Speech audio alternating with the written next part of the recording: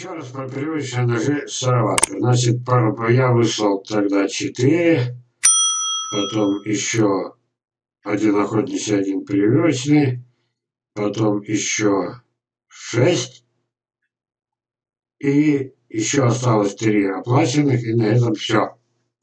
Так, это означает, что больше заказы не идут. Даже этот, ну, капелька рекламы вот этот для левши, третий последний нож для левши, вот, видите, вот, он до сих пор не выкуплен. Не этот, и ну, еще несколько ножей Олег сделает, и на, на этом все. Для огромной страны это очень мало. А качество прививки очень-очень важный элемент. Вот, на всякий случай герой дня. Это мое последнее открытие, предпоследнее, сами знаете это мой друг с этого самого, с Украины, Валерий Александрович, а последний вот он, супер ножи Олега Сыроватка. Вот. Я еще надеюсь, после этого вебинара, хотя нас ведь стало еще меньше, потому что рассылка была неполная, вот, но хотя бы несколько человек еще найдется, которые помогут и человеку, у которого волшебные руки и себе. Вот. Вот это вот живой реальный человек. Кому вам? Валерий Васильевич, добрый день. Нож доставили, режет прекрасно, спасибо. Слушайте, а ну-ка.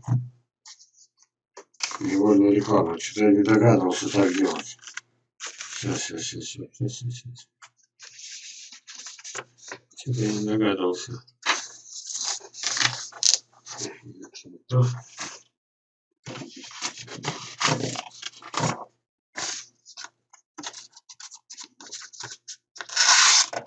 Ну еще Ну еще ладно.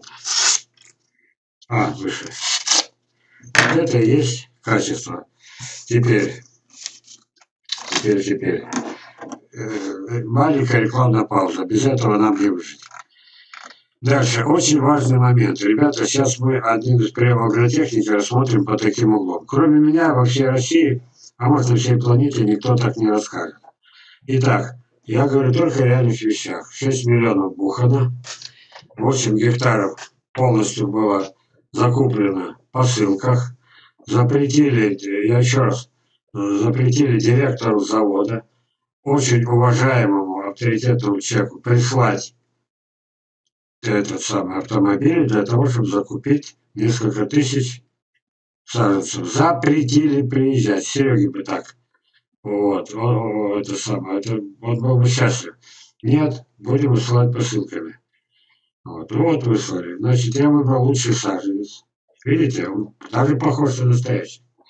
Вот, сейчас поймете, я начинал с другого. Я просто говорю чуть-чуть, ну, старики, может быть, даже видели эту фотографию. Если посмотреть ближе, я же не могу не, не это самое, не, не, не расплываться мысли подряд.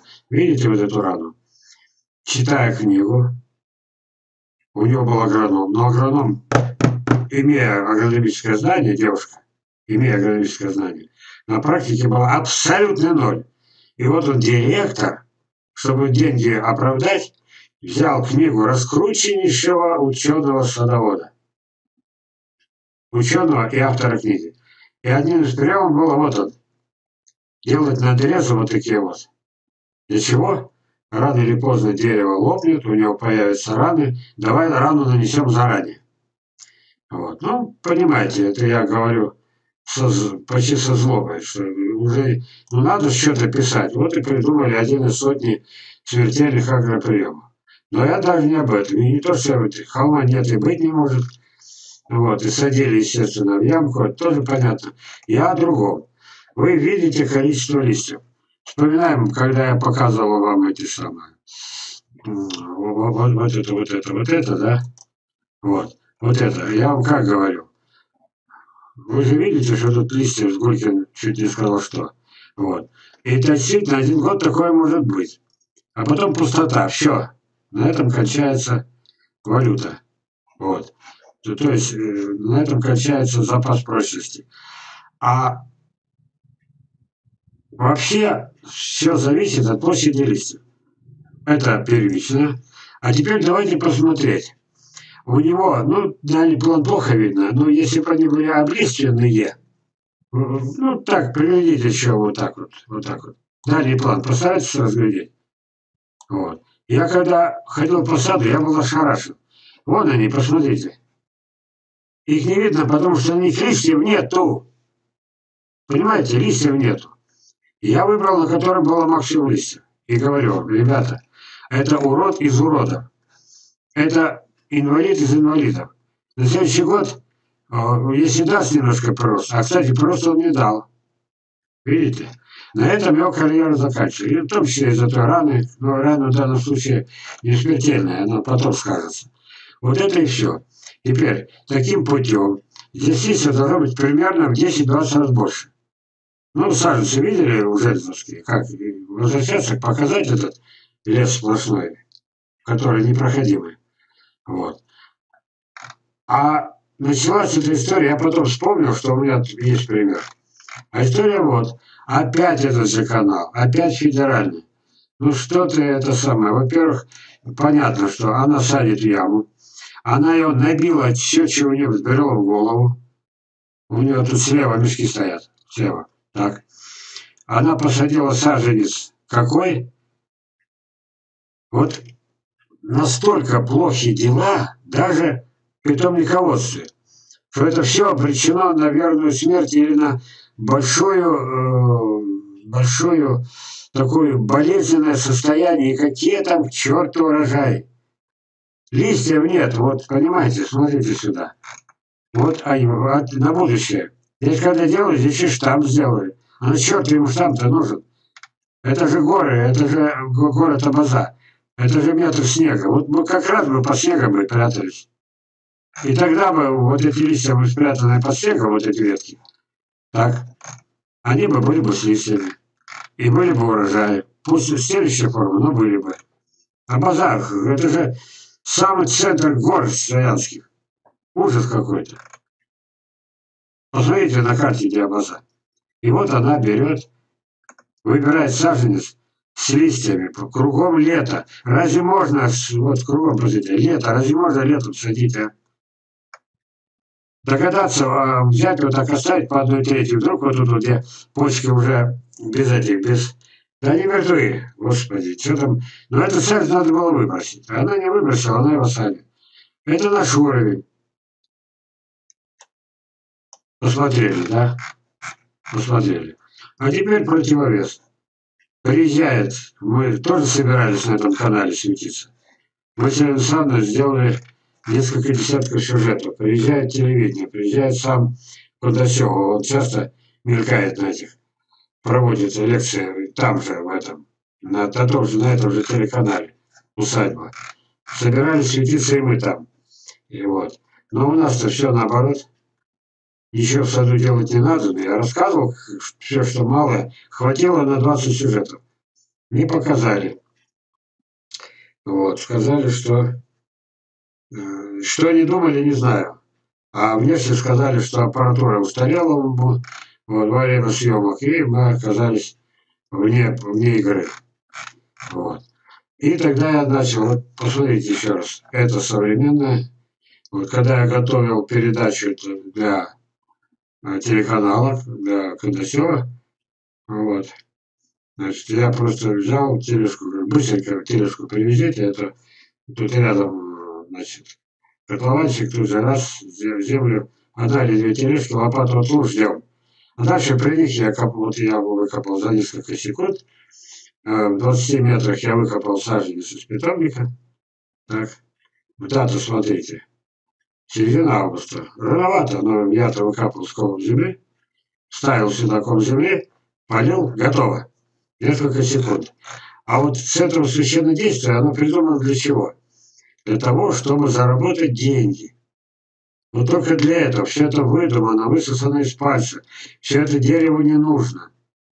Вот, вот эта вот вся операция, она только вредна, она подла. Просто они этого не знают. Тогда давайте вернемся к истории. 19 век. Помните, кто-то просил меня? Вот. Хотелось бы его лучше узнать. Нашелся 11 тысяч. помаленьку карту раскрываю. Значит, человек сделал холм. Неплохо, да? А в холме, чтобы лучше поливать было, чтобы вода не растекалась, он сделал ямку. Если он, если бы тут было написано, я бы ему это простил как? Вот, допустим, саженец прижился. Если это яблоня, она не сгниет за этот период, хотя уже начнет портиться. Может быть, ну, месяц вот так подержать. В это время корни все-таки вживутся в землю. Начнут с землей контактировать. И потом просто взять тряпочку и вот эту вот кромочку убрать и все. И будет вот так, как у меня. Или вот так. Вот. Или вот так, или вот я наделался. Вот. Или вот так. И все. Потому что дальше, смотрите. Вся, любая вода, хоть дождь, хоть проливной дождь, хоть как поливайте, вся вода оказывается вот здесь. Ну, допустим, метре, полметра. Там, где ей положено, там, где корни. А здесь поливать смысла нет. И вот эта яма, а ведь это же придумано на века. Смотрите, ребят. Я показывал профессора, современного доктора наук. Вот как бита было в башку. Ничего не изменилось. Ничего. И сейчас в университетах вот так вот учат. И я всегда говорю, вот здесь хитрость. Ну, уберите через месяц-два эту хитрость, и я соглашусь с этим. Ну, напишите, что потом убрать вот это вот. Раз. Человек взял, старый автор, это ему сто лет этому всем, хватает фотографии или рисунку, рисунку, сто лет. Ну возьми ты, вот он же правильно взял, при посадке обрезал. Значит, мы можем, если захотим. Ну а потом сказать, ладно, вот по такому же сценарию. Вот, представляем, профессор читает. Даже элементарно надо школу проходить или что-то. Даже это. Вот мы посадили, да. Если сделать так, вот так вот, как, допустим, Железов, Талдыхин, это не я изобрел, я изобрел другое, изобрел нетронутый дерн. Садить на нетронутый дерн, вот это мое изобретение. А так-то все уже знают об этом. Но тут-то высыхает быстро, а корней-то там, как правило, вот Гулькин этот. И вот получается, вот профессор берет и говорит, вот все, да, чтобы он не провалился. Земля будет усадку давать. Хохов били, правильно били, подвязали, как бы заякорили. Ну скажите, что через месяц-два убрать вот эту вот самую бордюрчик, чтобы видно лунка. В других местах написано, знаете как? Лунка для полива.